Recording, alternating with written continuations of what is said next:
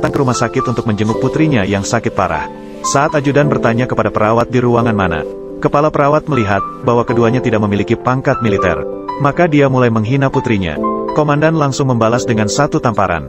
Jangan sampai aku mendengar kata-kata itu lagi. Aku akan membelahmu menjadi tiga bagian. Menghina putri kaisar. Mencari mati. Kemudian perawat menangis sambil memanggil wakil direktur. Namun di belakangnya ada dua petugas keamanan. Menyeret seorang perawat wanita itu. Wakil direktur dengan sombong mengatakan, tidak ada orang yang dia cari di sini. Dan mengancam, agar mereka segera pergi jauh jika mereka tahu apa yang terbaik untuk mereka. Saat itu wakil direktur langsung mengenali identitas pria itu. Mengolok-olok bahwa dia adalah seorang terpidana mati yang akan dieksekusi. Namun pria itu tidak punya waktu untuk memperdulikannya. Dia hanya ingin tahu keberadaan putrinya. Pada saat itu, perawat wanita itu yang terjaga menangis sambil memberitahunya. Cepatlah selamatkan putrimu. Mereka adalah binatang. Mereka akan mencabut sumsum -sum tulang putrinya dengan paksa. Kamu tidak ingin hidup lagi. Jangan.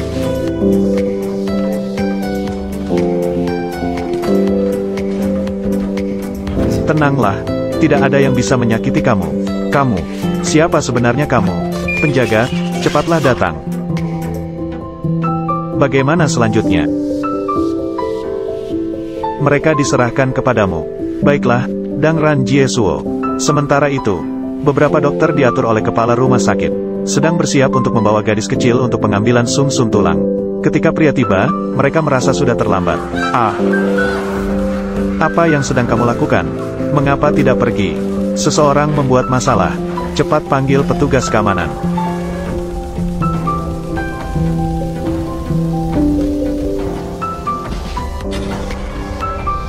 Tidak. Jiao Jiao, ayah sudah pulang. Semuanya baik-baik saja. Ayah sudah pulang. Komandan. Jiao Jiao sudah pergi. Dia telah meninggal. Menyingkir. Komandan menggendong putrinya yang hampir tak bernyawa. Dengan sedih, dia pergi ke ruang perawatan di samping. Perwira melihat situasi dan marah besar. Dia menggosokkan wajah wakil kepala rumah sakit ke tanah. Untungnya komisaris datang tepat waktu. Dan mencegah tragedi terjadi. Ketika dia mengetahui, gadis itu disiksa di rumah sakit. Dan seketika panik, langsung roboh ke tanah. Tanpa sempat berpikir panjang, segera memerintahkan ajudan mencari komandan. Sementara itu, dia sudah menggunakan akupuntur untuk menyelamatkan putrinya. Komisaris melihat situasi dan segera memerintahkan untuk menutup lokasi. Selama periode ini, tidak ada yang diizinkan masuk atau keluar. Dan memerintahkan bawahannya untuk menyelidiki. Dalang dibalik pembunuhan putri komandan. Dengan cepat, bawahannya mengetahui melalui penyelidikan. Dalang dibalik pengambilan sumsum -sum tulang gadis secara paksa. Ternyata menantu salah satu dari empat besar Yandu. Komisaris marah sampai langsung pingsan. Komandan, komandan, kamu tidak boleh ada masalah pada saat seperti ini. Jika kedua pihak bertikai, itu akan seperti perang. Anak kecil sedang menderita. Tenanglah. Siapa komandan di sini? Suruh dia keluar dari sini. Sun, dengarkan penjelasanku. Fang Wen Tao, bukankah kamu sudah pergi? Bukannya pergi ke Sieno, karena ada urusan penting sedikit. Jadi baru saja sampai di sini, karena ada urusan penting. Jadi begitu, rumah sakit ditutup atas perintahmu. Kamu berani sekali. Sun, tolong dengarkan penjelasanku. Aku tidak butuh penjelasanmu. Cepat bawa orang-orangmu dan pergi dari sini. Istriku, berada di ruang VIP di lantai atas. Mengganggu perawatan medis istriku. Kamu tidak bisa menanggung konsekuensinya. Sun, jika nyonya ada di lantai atas, maka aku akan mengikuti kamu untuk bertemu dengannya. Mengganggu istriku sedang berobat. Apakah kamu yang memutuskan siapa yang bisa bertemu dengannya? Kamu belum pantas. Baiklah, aku tidak berhak untuk bertemu dengannya. Tapi aku harus bertanya dengan jelas. Gadis kecil memberikan sum-sum tulangnya. Untuk menyelamatkan nyawa. Mengapa dia tidak peduli? Nasib gadis kecil itu. Hanya nyawa kecil. Kalau mati ya mati saja. Aku menasihati kamu jangan ikut campur. Kalau tidak, topimu tidak akan terjaga. Kamu, melihat Sun yang sombong, komisaris politik tidak memiliki cara apa pun. Pada saat itu, komandan juga keluar. Sun tetap sombong dan arogan setelah melihatnya. Mengancam untuk mengubur gadis kecil dengan baik. Mungkin Nyonya akan memberinya hadiah jika dia senang. Namun, Sun belum menyadari keparahan situasi. Masih terus berteriak dan mengomel padanya tanpa henti. Namun komandan tidak akan membiarkannya. Meraih kepala Sun. Menekannya ke dinding dan menggosoknya dengan keras. Berani sekali. Ah, ah, Siapa kamu? Aku dari keluarga Sun di Yandu. Bolehkah aku tahu namamu? Namaku, Zhao Chang Kiong. Zhao Chang Kiong, aku akan mengingatmu. Ah, dan sisi lainnya, para staf rumah sakit, berbondong-bondong datang untuk memberikan perhatian kepada Nyonya Sun di tempat tidur. Ketika ahli ini masih berbicara panjang lebar, sang kepala rumah tangga penuh darah berguling ke ruang perawatan. Nyonya yang melihat adegan ini langsung terkejut dan pucat. Saat itu, komandan masuk dengan marah. Di depan semua orang, dia menginjak kaki-kaki kanannya. Pengawal pria melihat situasi dan langsung ingin menyingkirkan dia. Namun, tak disangka dia tak berdaya dalam tiga detik. Nyonya Sun langsung pingsan karena ketakutan. Saat dia bangun lagi, dia sudah terikat di meja operasi. Operasiku, apa sudah semuanya selesai? Apa yang sedang kamu lakukan? Maafkan aku, Nyonya. Kami juga terpaksa. Si kecil itu, mengapa dia belum diurus? Apakah kamu tahu konsekuensi dari tindakan ini? Cepat lepaskan aku. Kejadian hari ini, bisa dihapuskan begitu saja. Kalau tidak, kalian satu persatu. Semua akan mati. Sampai sekarang, saat itu, komandan mengeluarkan jarum suntik super besar. Namun, setelah melihatnya, dia tidak panik. Malah tersenyum sinis.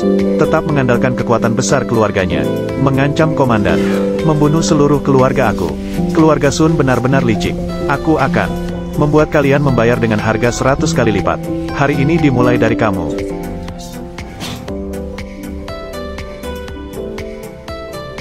Membahayakan putriku. Tukar dengan sumsum -sum tulang. Jika ada sedikit pun masalah dengan putriku, kalian semua tidak akan selamat. Nyonya Sun adalah salah satu dari empat besar dalam istana. Menantu perempuan Tuan Sun. Hari ini kalian memaksa kami untuk bertindak. Kita tidak akan bisa menghindari kematian di masa depan. Tolong berhenti.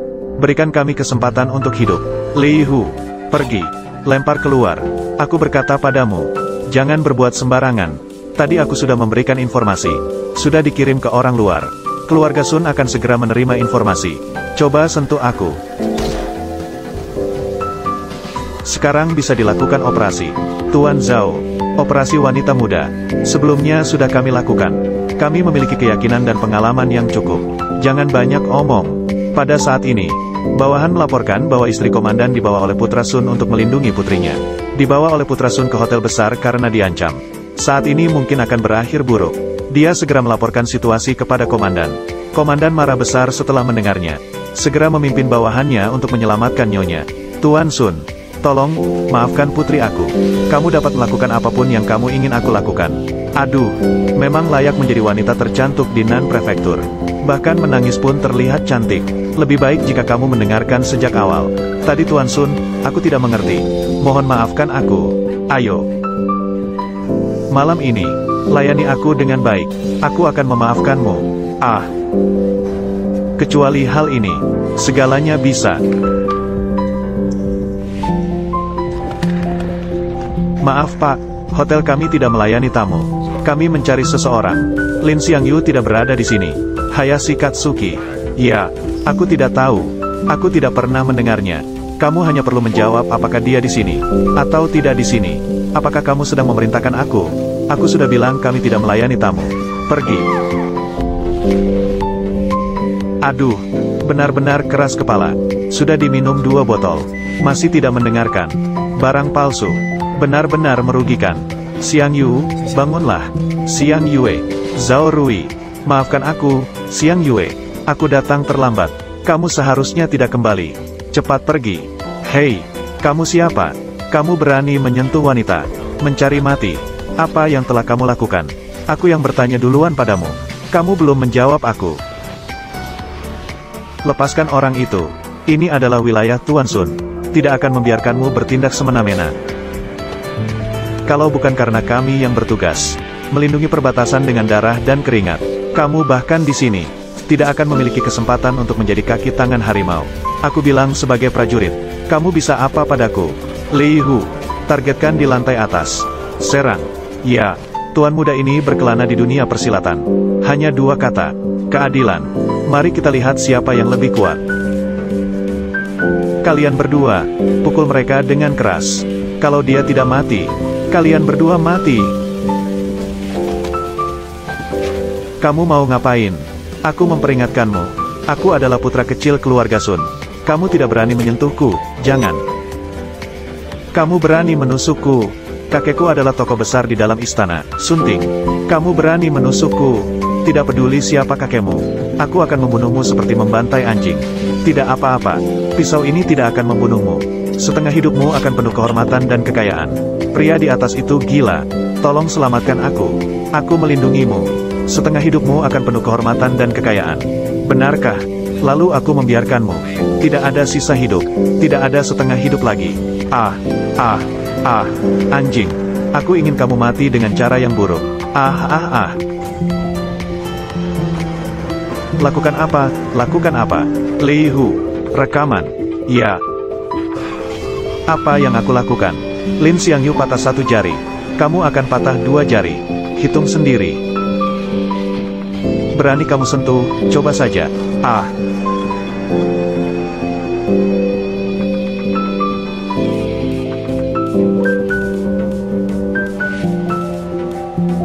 Jangan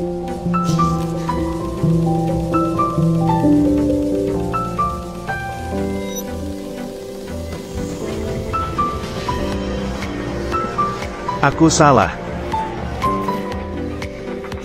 Aku salah, aku sungguh salah. Aku ini orangnya. Aku sangat memperhatikan keadilan. Bagaimana kamu memperlakukannya? Aku akan melakukan apa pun yang aku mau padamu. Dan bahkan dua kali lipat.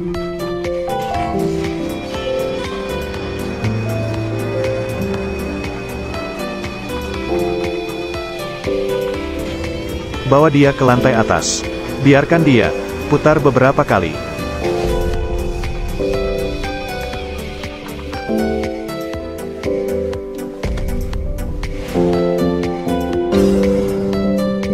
Tutup tempat ini. Cepat masuk dan lihat. Cepat cari Sun Gongsi, Gubernur. Sepertinya tidak perlu mencari lagi. Tuan Sun ada di kaki kamu. Gubernur, Gubernur, apakah kamu baik-baik saja? Naik ke atas dan tangkap orang itu. Pastikan pelaku tidak melarikan diri. Halo, Tuan Sun. Aku adalah Gubernur Qin Yuanshan dari Provinsi Nanan. Mengganggu aku di tengah malam. Lebih baik kamu bicara tentang hal yang menyenangkan. Anak kamu, Sun Yang Wei, telah dibunuh. Dr. Zeng. Tampilan data. Indikator pasien semuanya normal. Kita tidak perlu matikan. Anak ini diselamatkan. Tapi Nyonya Sun tidak bisa diselamatkan. Sepertinya kita akhirnya, tak bisa menghindari kematian. Tuan Zhao, kami sudah menyelesaikan operasinya. Putri kamu sudah baik-baik saja. Nana, Jiao Jiao, nanti, siapa pun yang berani mengganggumu lagi, ayah akan mengirimnya ke neraka. Raja Langit baru saja menerima kabar. Sun Zieng, tuan rumah kecil di Yanjing, mengeluarkan perintah keluarga. Sedang dalam perjalanan malam dengan mobil khusus menuju Provinsi Nanan. Dan juga, kantor gubernur telah mengepung rumah sakit dengan orang-orang. Personilnya masih cukup banyak. Bawa Jiao Jiao ke ruang perawatan khusus. Jaga dia dengan baik. Jika ada masalah, bunuh tanpa ampun. Ya. Bangunkan dia untuk aku. Tuan Zhao, saat ini kondisi Nyonya Sun sangat kritis. Jika kita tergesa-gesa, kemudian sedikit demi sedikit, aku tidak ingin mengulang dua kali. Tapi, jika Nyonya Sun meninggal, keluarga Sun tidak akan membiarkan kita lepas. Saat dia menyakiti putri aku, dia sudah mati. Jika kalian tidak, lalu aku akan melakukannya. Mer, Zhao, kami akan segera membuatnya sadar. Memberikan suntikan kepada Nyonya Sun. Baiklah, Zeng Kai, kamu dukun. Kalian masing-masing akan mati semua. Maafkan aku, Nyonya. Kami sudah berusaha sebaik mungkin.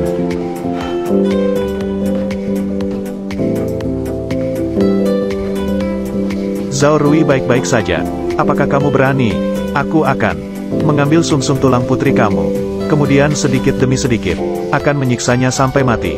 Nyonya. Lihat apa ini. Anak aku, aku mohon padamu, tolong maafkan anak aku. Dia tidak bersalah. Maafkan anakmu. Apakah kamu pernah memikirkan untuk memaafkan putri aku? Apakah kamu tahu bagaimana menulis kata tak bersalah? Berani bilang tak bersalah. Pria aku, mertua aku tidak akan membiarkanmu. Aku akan mengupas kulitmu, makan dagingmu. Aku punya kabar baik untukmu. Priamu sedang dalam perjalanan menuju sini. Jadi aku tidak perlu mencarinya. Keluarga harus rapi. Tidak baik. Keluarga Sun mengeluarkan perintah keluarga. Kepala keluarga Sun sedang menuju ke Nanzhou dengan cepat. Keadaan darurat. Pejabat Fang, kamu ketinggalan informasi. Hahaha. Satu-satunya yang bisa kalian lakukan sekarang adalah membersihkan leher kalian. Berikan aku kematian. Hanya perintah keluarga. Mengeluarkan perintah Kaisar Dewa Pengobatan. Perintah pembunuhan. Di bawah langit yang luas. Siapa pun yang terkait dengan kekuatan kami di pintu pertama. Siapa pun yang menerima kebaikan kami di pintu pertama. Segera menuju Nanzhou. Bunuh semua anggota keluarga Sun. Bunuh satu orang. Hadiah. Pewarisan ilmu kedokteran. Atau cari Zhao Changxiong. Tentang menyelamatkan seseorang sekali. Pilih salah satunya. Jangan sekali-kali. Komandan, berpikirlah dengan baik. Begitu perintah pembunuhan dikeluarkan. Langit runtuh dan bumi retak.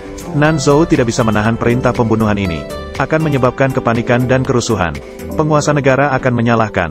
Kehormatan seumur hidup kamu. Akan hancur dalam sekejap. Kamu masih muda tapi menduduki posisi tinggi.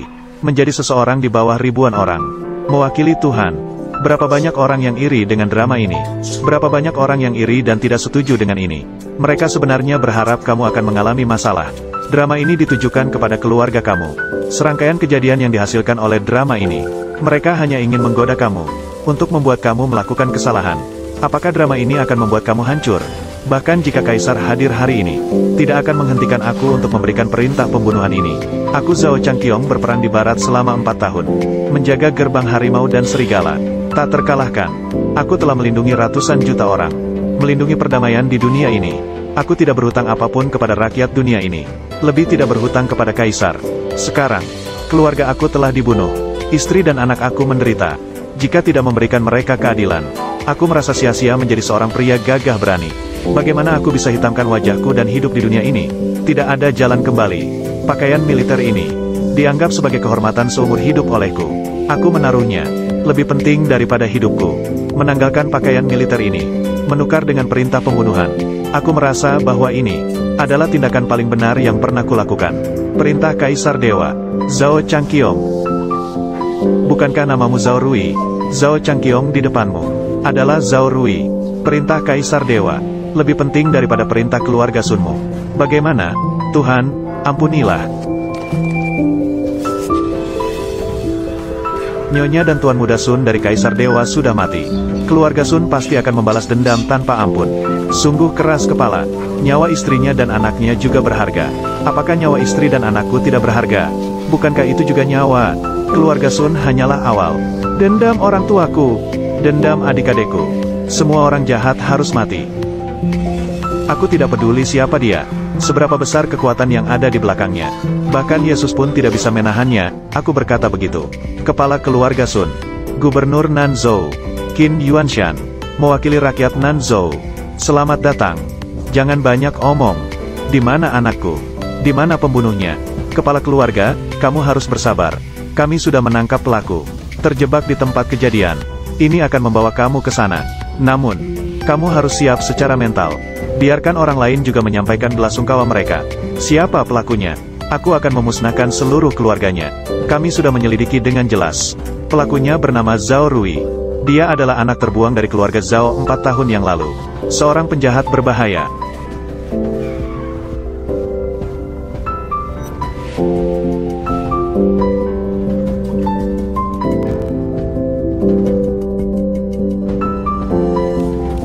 Sun, pelaku pembunuhan anak kamu, Zhao Rui berada di rumah sakit ini. Istri kamu, juga jatuh ke tangan Zhao Rui. Aku khawatir akan membahayakan keamanan Nyonya. Itulah sebabnya kami tidak mengirim orang untuk menyerang. Dia berani. Komandan, katakanlah ke bawah. Keluarga Sun datang dengan banyak orang. Mereka sudah mengelilingi rumah sakit. Komandan, aku akan turun dan melihat-lihat. Berhenti. Tuan tua, jangan ikut campur dalam pertempuran ini. Setelah pertempuran ini, aku akan melepas baju ini. Aku tidak bisa hidup tanpamu. Aku tidak bisa hidup tanpamu. Apakah kamu mengerti maksudku? Tapi Tianwang, tidak ada tapi. Tolong jaga baik-baik Jiao Jiao dan Xiang Yu untukku. Li Hu, ayo pergi. Ya. Tuan Kepala Keluarga Sun hadir secara pribadi. Suruh Zhao Rui keluar. Jika tidak, semua orang akan dibunuh tanpa pandang bulu. Apa yang bisa dilakukan Tuan Kepala Keluarga Sun? Aku belum pernah mendengarnya. Tuan Kepala Keluarga, kamu adalah Zhao Rui. Gubernur Qin. Empat tahun tidak bertemu. Tidak pernah terpikirkan. Siapa sangka kita akan bertemu dalam situasi seperti ini hari ini. Bagaimana berani kamu tidak menjawab pertanyaan Tuan Kepala Keluarga Sun? Masih berusaha dekat dengan aku di sini. Gubernur ini tidak mengenalimu. Kamu membunuh orang di wilayah gubernur ini. Kali ini tidak akan lolos dari hukuman mati. Jika ingin meninggalkan mayat utuh, aku menasihati kamu. Segera serahkan istrimu. Kemudian, bunuh diri sebagai permintaan maaf. Bunuh diri. Bermimpi. Membunuh anakku, menculik istriku. Aku akan menghancurkanmu menjadi serpihan. Orang bernama Zhao. Aku akan memusnahkan seluruh keluarga Zhao. Jadikan mereka sebagai pengiring anakku. Baik, tunggu saja. Pergi. Bawa Nyonya Sun berikutnya. Ya. Memotong. Aku pikir aku akan menghadapi sesuatu yang sulit. Itu. Tuan rumah bisa membuat langit cerah dengan satu kata. Hanya keluarga Zhao kecil di Nan Prefektur. Di depan kepala rumah. Mereka seperti semut di hadapan tuan rumah. Awalnya aku ingin mendapatkan kehormatan. Kali ini aku datang dengan sia-sia.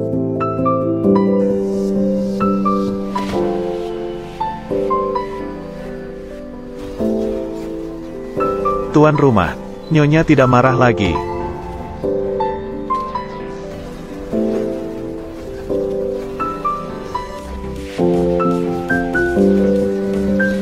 Membunuh istri dan anakku.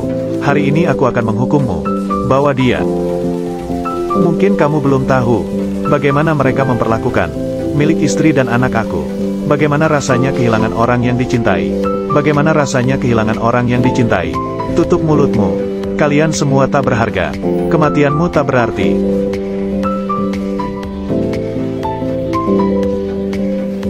Tak berharga. Di mataku. Nyawa seluruh keluarga Sunmu.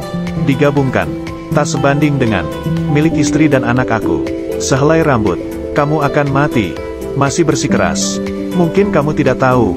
Keluarga Sunku. Berarti apa bagi negara ini? Zhao Rui. Dengarkan baik-baik. Hari ini seluruh keluarga Zhao dihapus dari kota Nanzu. Tuan Sun tidak bisa. Orang-orang di Nan Prefektur dengan nama keluarga Zhao. Lebih dari satu juta. Semuanya terkait dengan Zhao Rui. Tidak ada hubungannya. Tutup mulutmu. Kalau tidak, aku akan membunuhmu juga. Jangan bicara tentang jutaan. Bahkan jika itu puluhan juta. Hari ini aku akan membunuh semuanya. Biarkan istri dan anakku mengiringi. Ribuan orang dari keluarga Sunku. Kami akan menghancurkan seluruh kota Nanzu menjadi beberapa bagian. Yang pertama membunuh. Dimulai dari kamu. Semua orang harus patuh padaku. Tak seorang pun dibiarkan. Serang. Bunuh.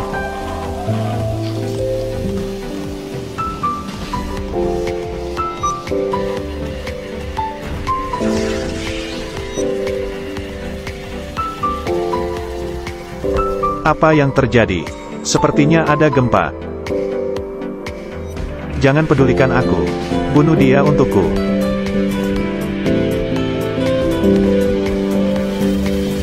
Mengikuti perintah komandan. 5 Jenderal Dewa Sieno. Hormatilah komandan. Mengikuti perintah komandan. 18 pengawal pedang darah. Menghadap komandan. Untuk membantai seluruh keluarga Sun.